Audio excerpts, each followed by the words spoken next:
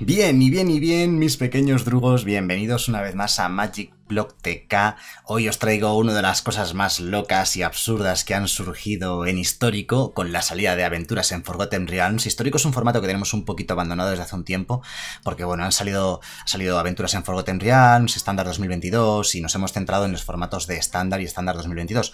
Y hemos dejado un poco olvidado histórico. Y además, como iba a salir Jump Start precisamente en estos días, que lo han retrasado dos semanas, ya lo sabéis, al 26 de agosto, pues yo, yo había dejado ya histórico en stand-by.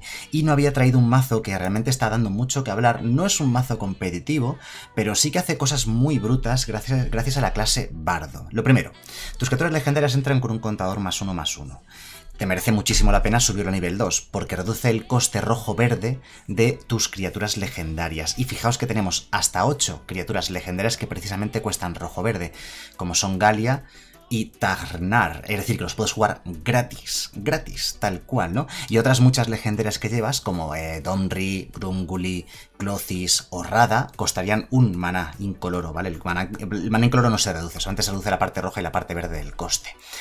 ¿Vale? Eh, luego, por ejemplo, Magda también costaría uno, o Caricep también costaría uno. Son todas las criaturas del mazo son legendarias para abusar lo máximo posible de la clase Bardo, excepto el Elfo de Janowar, que simplemente está hecho para, simplemente está incluido en el mazo para dar más mana, porque al fin y al cabo la clase Bardo cuesta 2 jugarla, cuesta 2 activarlo, y eh, luego cuesta 5 subirla a nivel 3, y os aseguro que subirla a nivel 3 merece mucho la pena. De hecho, intentas subir a nivel 3 siempre que puedes, porque muchas de tus cartas van a ser gratuitas, como estas de aquí, ¿vale? Esto es eh, pegada, prisa, o sea, por dos son dos, dos prisa, que también te ayuda a... Bueno, lo, de los otros sátiros ganan más uno más uno da igual porque no llevas otros sátiros en el mazo, lógicamente es un tipo de criatura muy extraño. Pero eh, si atacas con tres criaturas puedes descartar una carta y robar dos, lo cual está muy bien. La carta la descartas al azar, cuidado con eso. Este de aquí, bueno, por dos es un 2-2, que si atacas con fuerza 6 o más le da más uno más 0 a todas tus criaturas. Y puede duplicar su fuerza pagando 4. Son criaturas 2-2 por 2 bastante buenas para el coste que tienen, no se puede pedir más. Magda cuando se gira te pone una ficha de tesoro, es decir, más mana extra. Caricep te pone otro atacante, el 2-1 que es legendario, el propio Ragavan que pone la Caricep. Así que todo, todo es legendario, digo, excepto el propio Elfo de Anowar. Por cierto, antes de irme a las criaturas de mayor coste del mazo, al final lo que ocurre con este mazo es que entras en bola de nieve, ¿vale? Cuando subes esto a la clase bardo a nivel 5, lanzas un legendario y exilias dos cartas del top del mazo. Y puedes jugarlas, ¿vale? Pagando su coste y tal, lógicamente. Pero claro, su coste va a estar reducido por la clase bardo. Ya no digamos si juntas dos clases bardo y los costes se reducen aún más. Pero bueno, eso no va a afectarte realmente porque porque con una clase bardo es suficiente, porque solamente rebaja el coste rojo-verde, ¿de acuerdo? Lo único que sí consigues son más contadores más uno más uno. Por cierto, dado que todo el mazo es legendario, o casi todo el mazo es legendario, ¿qué os parece el Mox de Ámbar? En este mazo va genial. De primer turno no hace nada, pero a partir del segundo turno ya sí, da mana de cualquier color que tengas entre las criaturas y planeswalkers que controlas. Muy importante los planeswalkers, por cierto. Donry da más uno más cero a tus criaturas, o da mana, o hace luchar. Es que tiene de todo, la verdad es que es súper versátil en este mazo. Grunguli les hace entrar con más contadores más uno más uno. Clothis es una ventaja, o sea, es una win condition a largo plazo que te puede dar daño y vidas, o te puede dar mana incluso si exilias una tierra. Y Rada simplemente es otro bicho con muchísima pegada. Por 3 un 3-3 que daña primero en tu turno, que te permite jugar tierras del top del mazo, eso sí puedes jugar una tierra por turno, eso no te, eso no, cambia, ¿vale? Solamente una tierra por turno, pero la puedes jugar del top del mazo, esa es ventaja de cartas. Y además, si pagas 6, gana más X más X, donde X es la cantidad de tierras que controlas. Y este mazo al final acaba juntando 4, 5, 6 tierras muy fácilmente. Vale, en los a otro Planeswalker, por cierto, que nos he dicho que, que es de coste 4, ya, ya entramos en los costes altos del mazo, es Samut aplasta tiranos Fijaos la pegada que tienen algunas de estas criaturas. Molaría que tuviesen prisa, ¿verdad? Pues mira, Samud les da prisa a todas tus criaturas, así que arreglado. Y además, con el menos uno de Samud les da más dos más uno y adivinas uno. Le da prisa, pero eso no va a cambiar, porque la propia Samud ya da prisa, ¿no? Así que más dos más uno, adivinar uno para mejorar el robo. Luego tenemos eh, coste alto, también coste 4, Rada, Gran Señora Guerrera, por 4 es un 3-4 prisa. Fijaos la cantidad de criaturas que tenemos con prisa, que van a entrar con contadores más uno más uno. Esto no va a ser un 3-4, va a ser un 4-5, un 5 6, que además al atacar ganas tanto mana rojo o verde como criaturas estén atacando que no se gaste semana hasta el final del turno. O sea, la puedes usar después de atacar y, todo, y tal, ¿no? Toda la pesca es otra criatura legendaria bastante potente. Y por último, Samut criatura, ¿vale? Tenemos eh, Samut Planeswalker, Samut criatura, voz de la disidencia, que por 5 es un 3-4. También tiene prisa, va a entrar con contadores más uno más uno, pero esta daña dos veces, o sea, pegada brutal. Tiene vigilancia, o sea, puede atacar y bloquear, y además tiene destello, la puedes jugar a velocidad instantánea. También le da prisa al resto de, criaturas, de tus criaturas, y si pagas blanco, y la giras, puedes enderezar. Como ya no se gira al atacar, la puedes usar para enderezar otra criatura objetivo que controles. Y el blanco, ¿de dónde lo sacas? El maná blanco lo puedes sacar de, de las fichas de Magda, por ejemplo, ¿vale? Es, el único sitio del cual puedes sacar el maná blanco, ¿verdad? En este mazo de las fichas de Magda. ¿Hay algo que me haya dejado? No, solamente de las fichas de Magda. Quería estar seguro que no me saltase alguna forma de generar maná, porque estos maná solamente del color de las criaturas que controlas y son verdes o rojas todas. Así que bueno, nada más, es una locura de mazo, ya digo, no es un mazo bueno, no es competitivo, no os flipéis con esto, no os gastéis los comodines pensando que vais a llegar a mítico con él. ¿Se puede llegar a mítico? Sí, yo creo que se puede porque al fin y al cabo es una grulagro, ¿vale? O sea, va a ganar muchas veces por pura pegada, por velocidad. A las Sky de controles, es que hay tantísimas, les pone muy complicada la vida eh, y, las puedes ganar perfectamente. Y eso es, una, eso es un, dato muy a su favor. Como siempre, debajo del vídeo en la descripción os dejo el listado completo del mazo para que lo podáis exportar a Magic Arena. Y bueno, vamos a echarnos unas partiditas sin muchas pretensiones. O sea, yo me conformo con este mazo con que, con que salga bien. O sea, no me, me da igual ganar o no ganar, pero que al menos que saquemos una clase bardo, que saquemos la, carta que le da nombre al mazo, ¿no? Es Grul Bard de bardo. No tenemos la clase bardo, pero es una buena mano inicial. Quizás para históricos un poco lento, no jugar nada de primer turno, aunque esto de aceleración nos va a potenciar el tercer y el cuarto turnos bastante, pero digo que, mira, el rival tampoco juega nada de primer turno, lo cual está bien, será una Golgari... Será una Jun Sacrifice probablemente, huele a Jun Sacrifice. ¿No es mal emparejamiento? Ah, pues no, Abzan, esto ya es más raro, ¿vale? Eh, no sé qué será. Mazo fantasía. De momento una visionaria élfica. Dudo que sea una Abzan de elfos. Eso no existe. Esos son los padres. Nos va a bloquear y nos va a matar la Magda.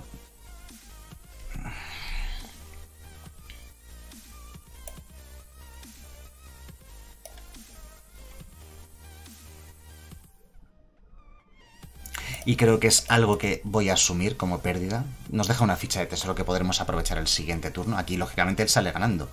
Él ha jugado una criatura que al entrar en juego ha robado carta. O sea, es decir, él no ha perdido carta. Nosotros sí hemos perdido carta. Pero bueno, hemos ganado una ficha de tesoro. O sea, hemos perdido ventaja de cartas a cambio de tempo. ¿Qué se suele decir? Tempo es, pues, eh, tu presencia o tu posición en mesa o tu presencia en mesa o ese tipo de cosas podríamos decir que es el tempo con respecto al rival. Como tenemos mucho maná, nos podemos permitir descartarnos la tierra que encima hay que pagar vidas con ella. Pues es una... Ah, vale, es una Abzan de entrar en juego, con criaturas con habilidades de entrar en juego. Creo que es un buen turno para meter a Samut. ¿Qué queremos? ¿Más rojo o más verde? No sé. Vamos con Samut. ¿Por qué? Pues porque podemos. Espérate. Ah, que no sea humano. Samut es humano. Estaba pensando, espérate, ¿Samut es humano? Samut es humano. Digo, ¿por qué no ha entrado con un contador más uno más uno?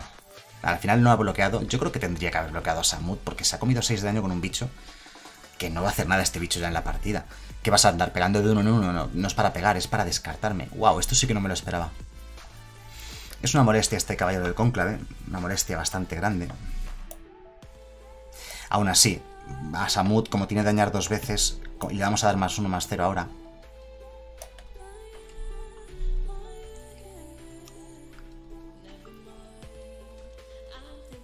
Con Samut no puede, ¿vale? Esa es, la, esa es la cuestión. Vamos a atacar simplemente con Samut. Es decir, bloquea, se muere, deja dos tokens 2-2, eso sí que lo hace. Vale, bloquea, ahora sí bloquea con el 1-2.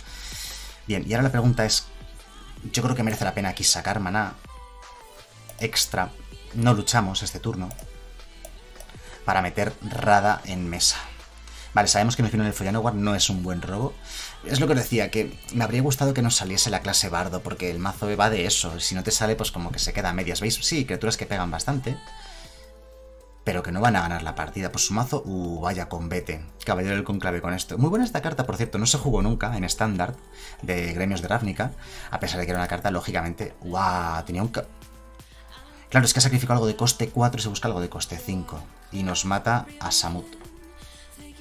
Vale, ya sabemos lo que nos viene después. No nos vale este luchar, ¿de acuerdo?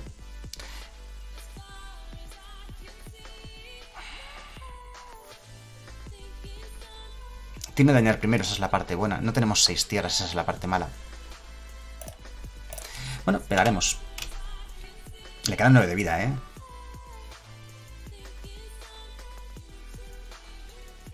¿Tiene algo de coste 3 o menos? Sí. Ahí va, ahí va, ahí va, ahí va. Nos va a descartar la carta que tenemos en mano, el elfo de. Lo tendríamos que haber jugado antes de haber atacado, quizás. Si no quiere bajar demasiado de vidas, quizás debería bloquear con el 2-2 y ya está. De todas maneras, si bloquea con el Caballero de la Noche, no lo ha hecho. Es que tiene dañar dos, o sea, tiene vínculo vital. Por eso tampoco quiero yo luchar.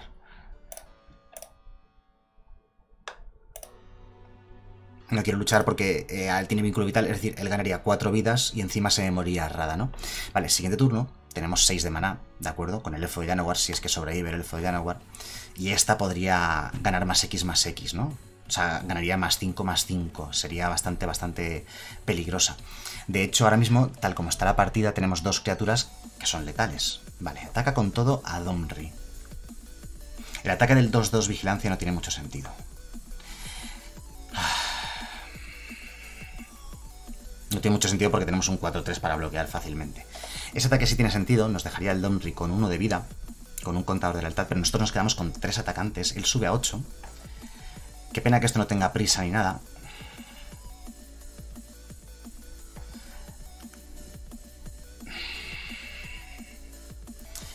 Si chumbloqueásemos perdiendo el Follanawar, podríamos luego con Rada matar el, el token 2-2. O sea, con Rada, luchando con Donry, ¿sabéis?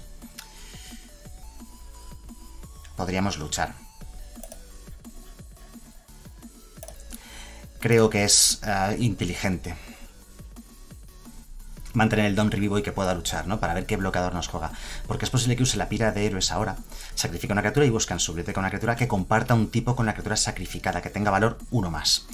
Esto es un coste 5. ¿Llevará algún caballero o elemental de coste 6 en su mazo? Probablemente no. Probablemente este sea su tope de curva. Esto es caballero centauro. Claro, lleva el caballero centauro. Uy, el mazo del rival es de lo más interesante, de lo más original. Y sacrifica la visionaria élfica, que es elfo chamán, así que puedo buscar un elfo o chamán de coste 3 y ponerlo en juego directamente con la pira de héroes. Me gusta mucho el mazo del rival, muy original. No es un mazo totalmente orientado a las habilidades de entrar en juego, pero prácticamente todas sus criaturas tienen habilidades de entrar en juego. Difunde plagas, con la cual sacrifica el caballero. Joder, nos la ha liado. Podemos sacrificar el Planeswalker, ¿eh? Si queremos. Creo que lo más inteligente sería sacrificar Grunguli sacrifica esto y recupera del cementerio al juego eh, la carta, la élfica para robar carta. En lugar de la que descarta porque no tenemos cartas en mano no tendría mucho sentido. Vale, una tierrecita, perfecto, desde el top, jugada con Rada. Mira, sabemos lo que viene después. Si no robamos eh, la clase Bardo no vamos a poder ganar esta partida.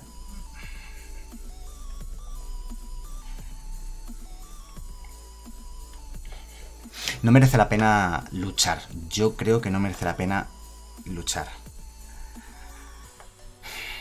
No sacamos casi nada con la lucha. Es decir, él bloquee con lo que bloquee, Rada se lo lleva por delante. De hecho, tiene que bloquear porque si no, Rada es letal. bueno, pero quitaríamos un bloqueador en medio. Lo que pasa es que son... Vamos a hacerlo, vamos a hacerlo. Espérate, no. Vamos a atacar primero. Esto hay que quitarlo del medio para que no pueda sacrificarlo con la piradero si se busque un chamán o humano de coste 4. Ahí, bloquea con la visionaria élfica, vale, perfecto. Tendría que haber bloqueado quizás con el token, porque siempre puede sacrificar la visionaria. Vamos a hacerlo, ¿eh? Matamos esa cosa. Metemos el Tarnar en mesa, que se puede convertir en un 4-4, o sea, bloquea al caballero elfo, salvo sorpresa. Y bueno, vamos a ver si juega una criatura si juega una criatura y la sacrifica con la piradero, es como todas sus criaturas tienen habilidades de entrar en juego, dad por hecho que nos va a fastidiar pase lo que pase. Mazo muy bonito, no sé cómo irá contra control o cómo irá igual. Nuestro mazo es dependiente de la clase bardo. Si no la robamos, como veis, no, no hacemos nada realmente consistente, realmente potente. Y él lo pasa lo mismo, supongo. Sin pira de héroes, pues sí, tendrá un montón de criaturas con buenas habilidades de entrar en juego o incluso habilidades de morir, ¿vale? Pero que no son suficientes para defenderte en histórico, ¿no?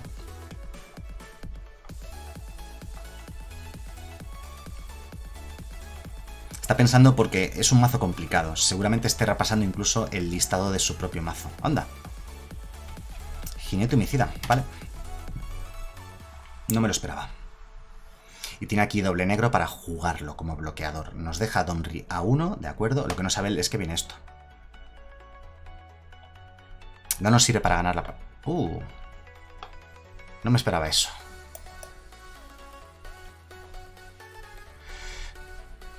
No tenemos mana suficiente.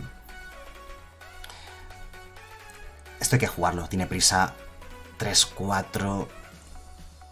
Vamos a jugarlo con el maná de Donry.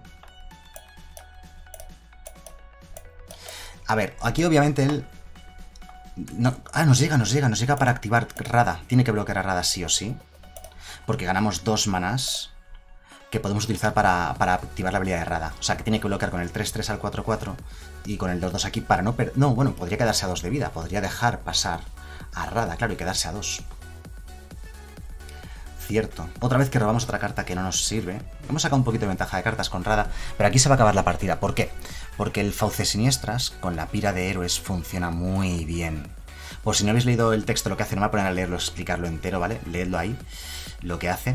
Y es básicamente como que se va a quedar la criatura en mesa y él no va a salir perdiendo en nada, ¿no? No va a arrollar, ¿no? No, más X más X, vale, digo, a ver si va a tener la habilidad de arrollar el, más X más X este también de arrollar y yo no lo sabía. Cosa que no me sorprendería. Bueno, pues lo dejamos a dos de vida a este rival. Y ya digo, el problema aquí es que puede activar la pira sacrificando esto. De hecho, nos mata a Domri ahora ya. Definitivamente lo sacrifica. Pone una criatura de coste 4. Que sea horror o hidra. No, no creo que lleve... Bueno, sí que llevará. Si lleva fauces siniestras, se habrá metido horrores o hidras de coste 4 en el mazo. Que se ha buscado. Oh, qué bueno, chupacabras, es un horror. Y un polúcranos, que es hidra y zombie.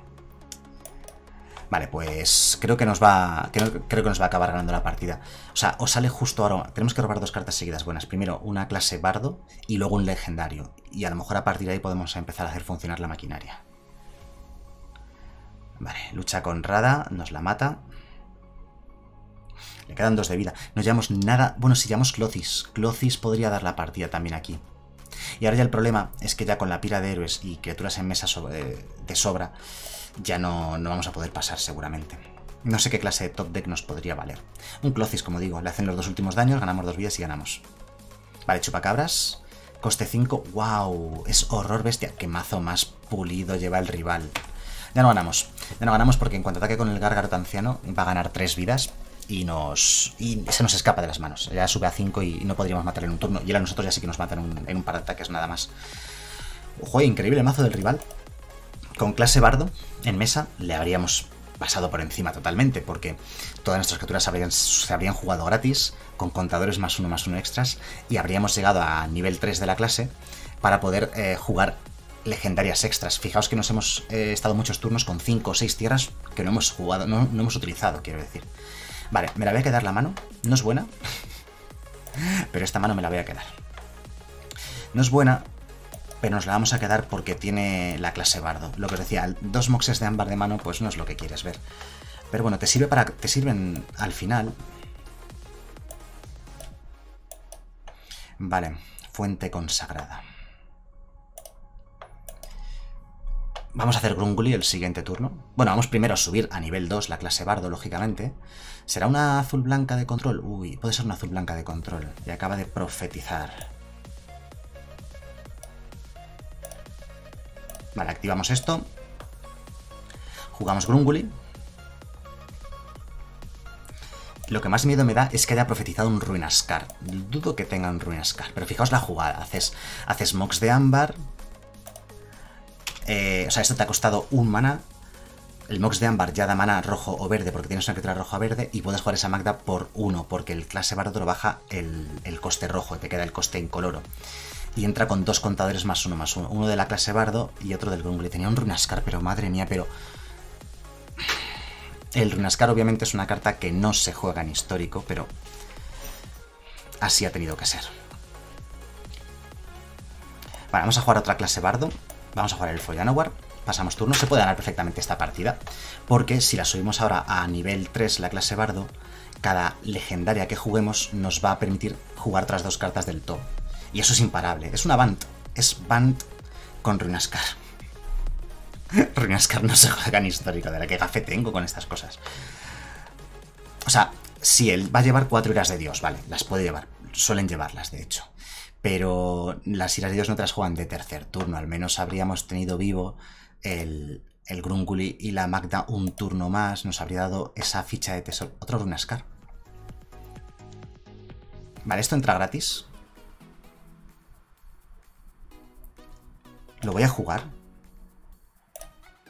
Por una sencilla razón. Para poder subir a nivel 3 esto. Y entonces el siguiente, para poder tener mana del Mox de Ámbar, que si no, no daba mana. Él tiene que tirar el Runascar, tiene que jugar tierra y Runascar. A ver, si no tiene la quinta tierra, pues no, claro. Doy por hecho que va a tener quinta tierra, es una band de control, es un mazo que genera mucho mana, que lleva muchas tierras.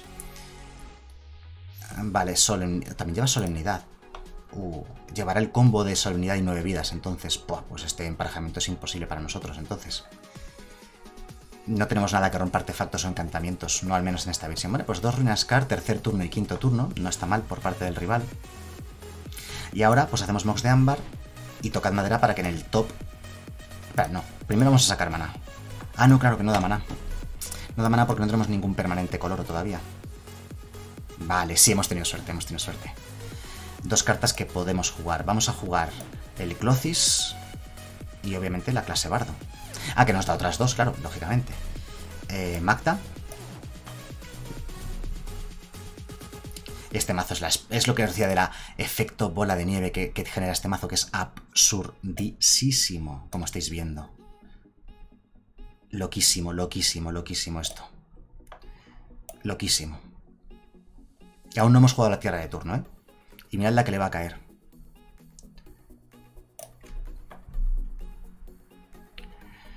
Ah, podemos pagar dos verdes y jugar otra clase bardo más.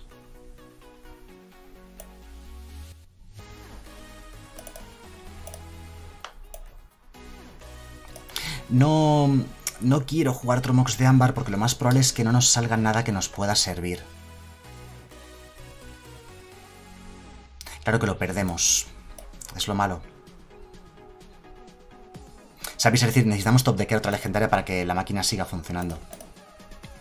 Le atacamos a él, nosotros no robamos nada, sanarse de mesa me da igual. Vale, perdemos las cuatro cartas, como os digo, que se iban. ¿Hemos jugado a tierra de turno?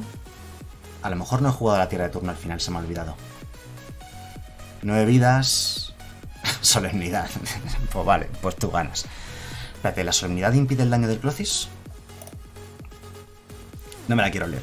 No, no, lo, no, no lo impide. No tenemos ninguna forma de hacerle perder vidas al rival. No podemos ganar el combo de estas dos cartas. No tenemos nada que destruya encantamientos. No tenemos eh, nada que le haga perder vidas, porque esto es para prevenir daños, pero no pérdidas de vidas. Y es una lástima. Es una lástima porque podríamos haber ganado esta partida perfectamente en el siguiente ataque. Bueno, pues una band de control con nueve vidas y solemnidad que nos ha tirado Ruinascar en el tercer turno, Ruinascar en el quinto y en el sexto turno ha hecho el combo de nueve vidas. O sea, no hemos podido hacer nada realmente. Bastante duro. Y veis, sí, haces bola de nieve. Hay un momento en el que si el rival no te, no te lo impide, acabas jugando clase bardo, bicho, bicho, bicho, legendaria, no sé qué tal. Y acabas haciendo muchas cosas y mola mucho y la gente se flipa con estas cosas.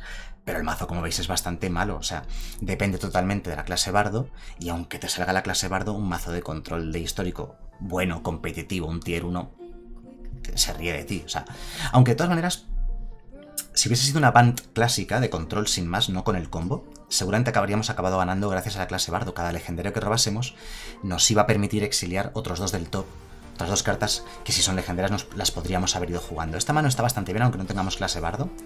El rival juega Lurrus de compañero. No sé qué significará.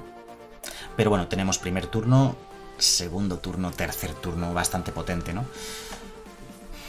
No es mala salida. No tenemos clase bardo, pero la salida es buena. Será un Azorius Auras probablemente. Un Pelgrim también muy complicado porque en cuanto te monte ahí, te va a montar muy rápidamente en el tercer turno. Te monta un 6-7 vínculo vital o algo así y ya está. Elfo ya no, Bien. Ahora veremos, podemos hacer Clothis de segundo turno, que no tiene mucho sentido, o Galia. Ahora veremos, dependiendo de lo que juegue el rival. Digo no tiene mucho sentido porque si no hay cartas en los cementerios, ¿para qué quieres un Clothis? Hombre, bueno, porque va a ganar la devoción muy pronto. Eso sí que es cierto. Que en este mazo la devoción se gana muy pronto, muy rápido, muy potentemente. De hecho, Samut... Clase Bardo, nos la hemos, robado, top Es muy buen robo, ¿eh? Buenísimo robo, de hecho. Clase Bardo... Lo malo es que no nos llega para hacer Galia este mismo turno.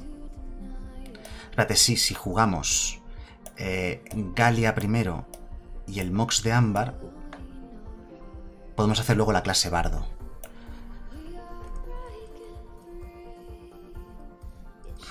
Sí, vamos a hacerlo. Galia, Mox, clase Bardo. Vale. Ahora que tenemos la clase Bardo en mesa, ya sé que el orden no es el idóneo, pero nos permite hacer doble hechizo este turno, porque si jugásemos la clase Bardo de primeras, no podríamos haber jugado Galia a la vez, ¿vale? Hay que jugarlo de esta manera para poder jugar las dos cosas este turno. A él no le va a interesar nunca bloquear con SRAM porque es, el motor de robo de su mazo, ¿no? Vale, pues ahora vamos a ver cómo de rápido él explota, ¿vale? Eh, porque su mazo igual, su mazo explota, lo que he dicho, el tercer turno te puede convertir esto en un 10-10 vuela vínculo vital. Y obviamente vínculo vital contra un mazo como un Agrul Bardo, pues, pues te va, te destruye, te humilla. Desde luego, dad por sentado que va a robar cartas, ¿vale? Y va a encontrar lo que necesita. Si no, si no este turno, el siguiente lo va a tener ya. Y puede proteger su SRAM. Lo malo es que crezca mucho. Que sea un 5-5, 6-6, 8-8, vínculo vital. ¿Y cómo atacas tú? ¿Con qué, ¿Con qué cara atacas tú a un SRAM 8-8 vínculo vital? Está pensando mucho. No, no hay mucho que pensar. Es un mazo también muy simple. Como el nuestro. Bueno, el nuestro aquí podríamos haberlo hecho mal, es lo único que había que haber pensado, el orden de jugar las cartas. Esta es la mejor forma para aprovechar todo el mana posible. Ahora subimos la clase Bardo eh, en el siguiente turno, y esto entra por uno y esto entra por dos, y tenemos mana suficiente para las dos cosas. De hecho, esto entra con devoción. Por eso, también podríamos haber jugado esto el turno anterior, y el siguiente turno tendrá devoción. ¿What? Acaba de ocurrir la cosa más rara que he visto jamás con una Azorius Auras que no juega nada de segundo turno. Rarísimo.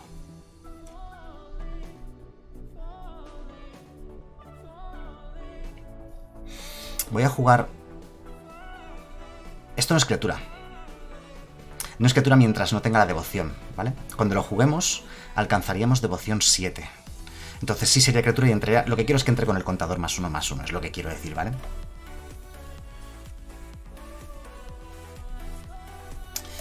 tenemos devoción 5. Cuando entra él, subimos a 7, automáticamente entra como criatura, se dispara la habilidad de la clase bardo y nos pondrá el contador más 1 más 1. Es más que nada por aprovecharlo. Y Samut le va a dar prisa.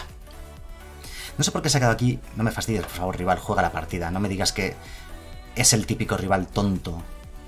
Creo que es el típico rival tonto. Que como... No, se ha disparado. No le ha dado el más 1 más 1. Algún, alguna cosa de reglas de capas, algo interno que no que no hemos tenido en cuenta. Pues más 2 más 1 a Galia. Tierra no queremos, gracias. Pegamos con los dos porque entran con prisa gracias a Samut. Creo que el rival ha hecho la de tirar del cable. Qué lástima. Para una partida aquí vamos a ganar bien porque... Porque tiene toda la pinta de que si se queda atascado en dos tiras la íbamos a ganar. El rival hace la de tirar del cable e irse. Bueno, al menos hemos podido ver un poco de qué va el asunto, ¿no? Siguiente turno, podemos pagar 5 para subir a nivel 3 la clase Bardo. Y entonces eh, es, guay guardarse los moxes de ámbar en mano, sin prisa con ellos, porque luego te van a habilitar el episodio 5, bueno, el episodio 3, el nivel 3 de la clase Bardo, ¿vale? Puedes pagar 5. Y entonces eh, con ese mox de ámbar, una vez que tienes ese nivel 3, por 0 de mana, sacas dos cartas del top del mazo. Y creas el efecto bola de nieve que estábamos comentando antes. Pues sí, parece que el rival hay que ser mala persona realmente. Porque estás en una partida amistosa, sabes que al rival lo vas a dejar 5 minutos colgado, ¿vale? Así que bueno, pues nada, ¿qué le vamos a hacer? Eh, vamos, a, vamos a hacer a recapitular lo que ha ocurrido en estas partidas. Las dos primeras partidas las hemos perdido. La primera no nos ha salido a clase bardo y hemos visto que, que al mazo le faltaba fuel. En la segunda sí nos ha salido la clase bardo, pero nos ha tocado un mazo, no un tier 1, la verdad. Era una bizarrada lo que estaba jugando el rival, con componentes de tier 1, de, al menos en Best of One en histórico, como es Band de Control. mezclado con nueve vidas y. Es que nueve, vidas y solemnidades es lo peor que nos puede ocurrir. Lo peor de todo es que nos ha tirado dos iras, una en el tercer turno y otra en el quinto, que ha sido lo suficiente como para frenarnos completamente. Y en esta tercera, que sí nos ha salido la clase Bardo y tal, y estamos otra vez contra un. Este sí es un tier 1 del formato Azorius Auras. Eh, se ha quedado atascado en dos tierras, pero si, si no se queda atascado en dos tierras, seguramente nos acabase ganando. Es un mal emparejamiento, yo creo, para nosotros. Así que, moraleja, lo vengo diciendo, a mucha gente, claro, en los directos en Twitch por la noche me dice, ¡ah, el, mazo de bardos de histórico, qué bueno es! Y yo, yo, todo el rato diciendo, a ver, tranquilos, no es bueno. Hace burradas algunas veces, y algunas veces gana. Y la gente se viene muy arriba con esas cosas. Pero a la hora de la verdad es un mazo bastante inconsistente y muy frágil, muy frágil. Realmente no puede competir eh, de cara a cara con tier 1 del formato. O sea, yo no intentaría jugar esto para intentar llegar a histórico. Que se puede llegar con él, se puede llegar porque al fin y al cabo es una brulagro y si tienes eh, la muñeca, la muñeca de Dios esta de ir robándote lo que necesitas en cada momento, pues te va a salir. Pero si eres un jugador normal, que, que no depende de la suerte, que su su juego no depende de la suerte, sino que bueno, es un jugador normal, no tienes ni suerte ni mala suerte, o peor aún, tienes mala suerte, este mazo no te va a llegar a mítico en la vida, ¿no? Lógicamente, como habéis visto, no esto es lo que hace el mazo, esto es lo que hace que mola, sí, mola, y a veces si el rival te deja, pues haces cosas muy chulas, como hemos visto en la partida anterior, o como íbamos a ver en esta, que ya estaba montado el chiringuito, ¿no? Pero nada más lejos de eso, ¿no? Así que bueno, nada más, espero que el vídeo os haya gustado y nos vemos en el siguiente. Hasta luego.